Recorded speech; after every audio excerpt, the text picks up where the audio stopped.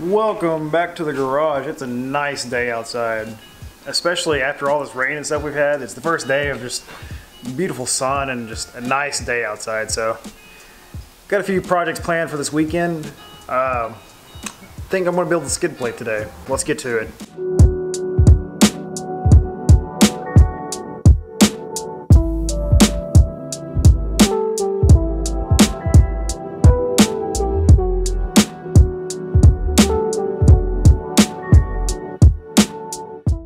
So today I'm going to start mocking up my skid plate build. Now I've been collecting some supplies for a while. I went in today and picked up this uh, one by one square tube stock. It should, the 14 gauge should work for my purposes. So for my skid plate I actually went with an 8 eighth inch steel. For my purposes I don't really, weight isn't that big of a factor.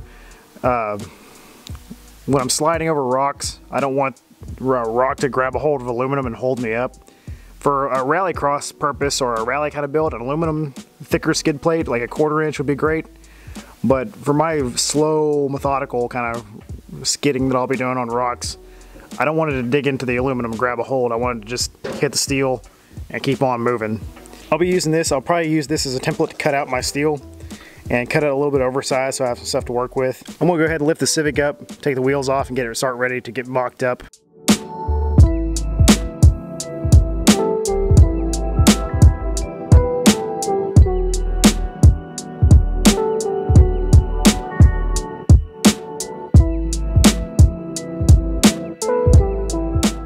So one thing you want to identify when you're building your skid plate is your mounting locations.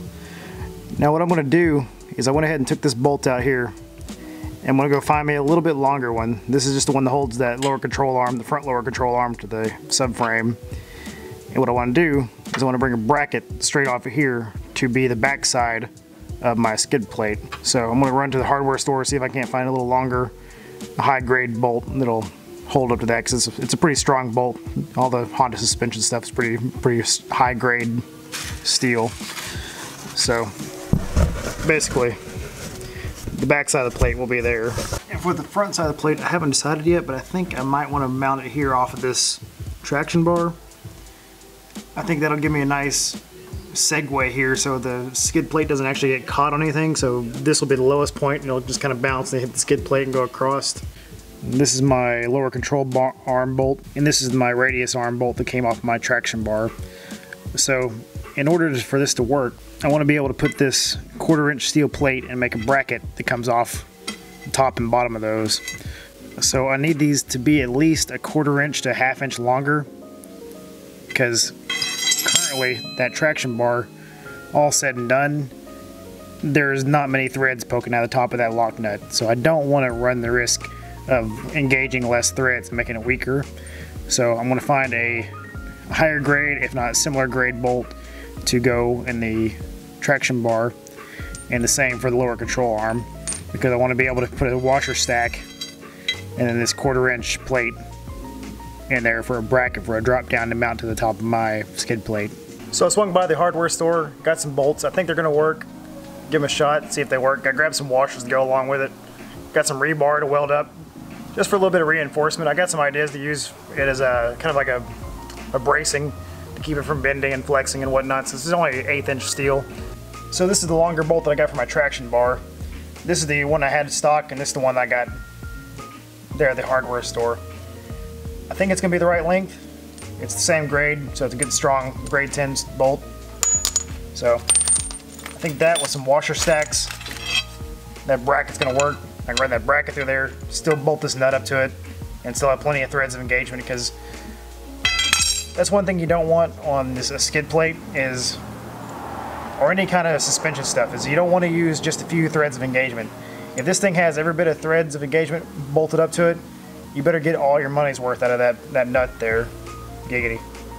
But make sure that you're, you're not just putting a couple threads in there and calling that good, because that's not good if you hit a rock or you hit a bump or whatever, those couple threads are not going to hang on, at least not for very long. And plus, you're not going to get any kind of locking feature here that you have in that nut. So, be warned, that's a tip from an engineer. Now washer stacks, you can stack all of them you want on there because that just, that's just good stuff. Now for this back bolt, Go ahead and double check, make sure this threads up fine. It should, same thread pitch and everything. And it is, it's threading up. What I plan on doing is, there's a little bit of a lip here. I don't know if you can see it from that angle of the camera.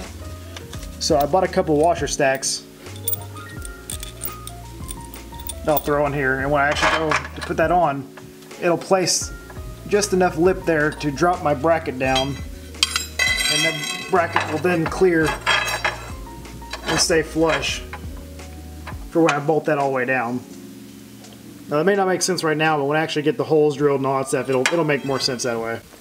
So what I'm going to go ahead and do,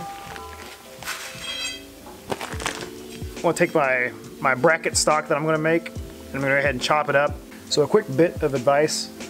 If you don't have a traction bar on your wagon or EF or whatever you're putting the skid plate on, you'll still have tow hook mounts up here. They can drop down. You can actually weld a piece of steel in between the two tow hooks and make you a brace and you can you can probably go ahead and bolt it to your tow hooks up there just depending on your application or you could make brackets that come off your tow hooks. I'm using the uh, the bolts that hold on this because I think that's going to be a more clean setup and a little more low profile setup so it doesn't get hung up on so many rocks. We'll see if this works, and if it doesn't work, I can always make a version 2. Primarily the goal of the skid plate is just to mitigate any damage to my skid plate or transmission or anything underneath there that's vital to me getting home. Being a car and being a wagon, going off-roading like I do, there's a lot of potential for a, you know a large log or a rock to come up and just smack the oil pan, and put a crease into it, and leak all the oil out. I don't want that to happen, so that's why I'm primarily building the skid plate. So what I'm gonna do now is in order to get my measurements, I'm gonna measure between these this bolt and this bolt here, the two lower subframe bolts, and see about how long my crossbar needs to be. And I'm gonna cut the crossbar and I'm gonna reference that as my height that I need to be, because I don't want it to be up against the exhaust, I don't want it to be up against transmission or anything.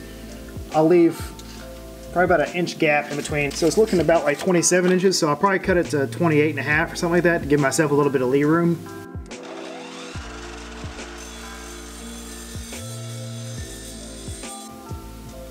Looks like if I do about a four and a half inch bracket there, that'll keep me clear. Looks like that might keep me clear. I think I'm going to cut the brackets about five inches and then we'll see where we are at. Do like that.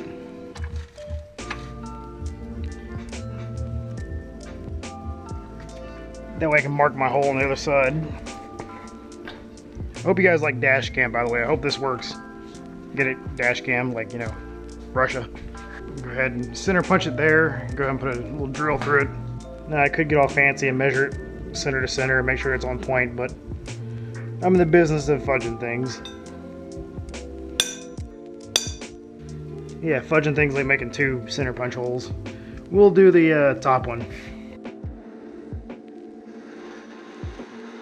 So let's see how close we got. Alright, see I can live with that. That's not a bad height. Not bad at all.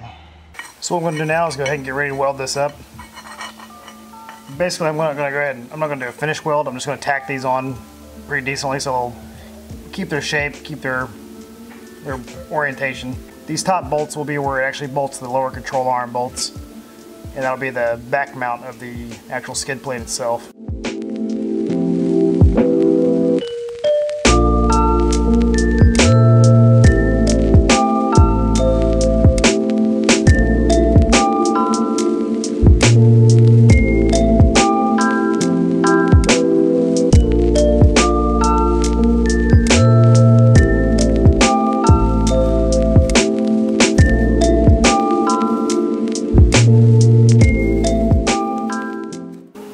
Part welded up. I'm gonna go ahead and loosely bolt it into the uh, lower control arms, hang it in there, put my uh, cardboard template back up there, and then I'll decide to cut my plate from there.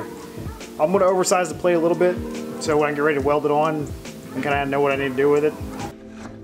All right, so one more time before I go ahead and cut the plate, I'm gonna go ahead and make sure that my cardboard template fits up right. Make sure it's fairly close to what I want. Actually really happy with it. looks like it clears everything pretty well.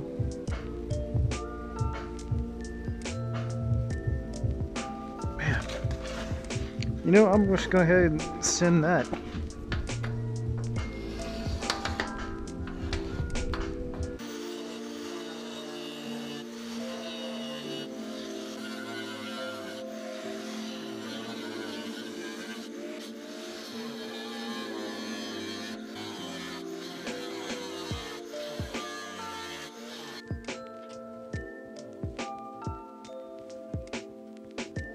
It's definitely low light, but you can tell. I went ahead and preliminary tacked it all up. And the plate is on. I'm going to uh, take it off, go ahead and clean it up, put my reinforcements all over it, and kind of get it good and strengthened. And then I'll probably go ahead and throw a coat of paint on it just for shits and giggles.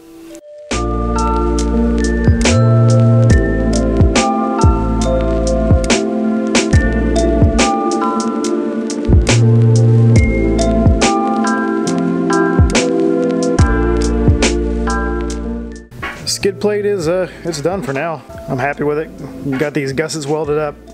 Just some rebar I picked up, cut up. Don't look at the shitty welds. Really don't look at that one. The bottom look good, yeah, smooth. I beveled the edges underneath. Just kind of hit it with a 45 with a grind wheel. Trying to make it nice and smooth on top. But yeah. So I got the skid plate out. It's day two. I'm gonna go ahead and throw a coat of paint on it, just keep it from rusting. I'll do, uh, while the paint's drying, I'm gonna go ahead and do an oil change on the wagon, just so I have everything off, I can go ahead and change the oil, because I was gonna do it anyway, and before I put the skid plate on, I need to go ahead and change the oil, because I'd have to drop it anyway. I, uh, I gave myself a nice little sunburn across my forehead. When I was welding yesterday, my welding cap wasn't all the way down, so, yeah. Oh well.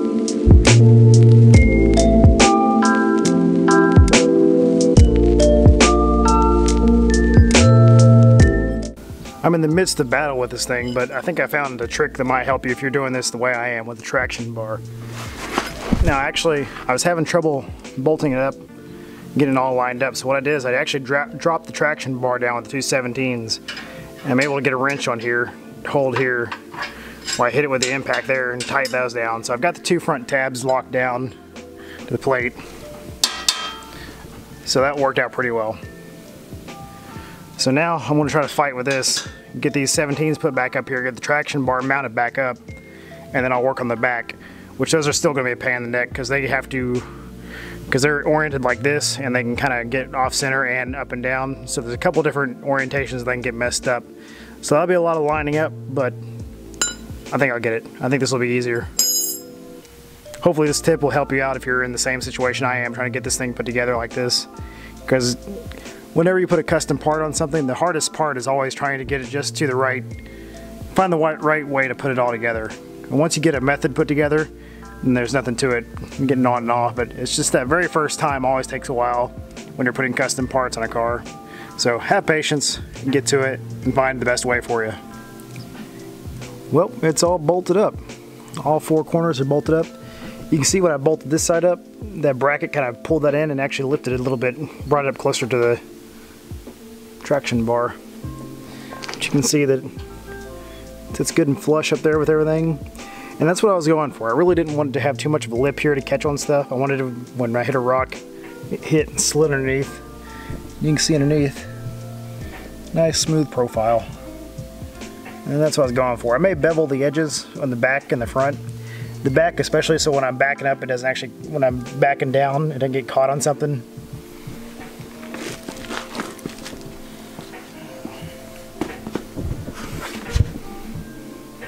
But if you look to here to the side, you can see where it's bolted up.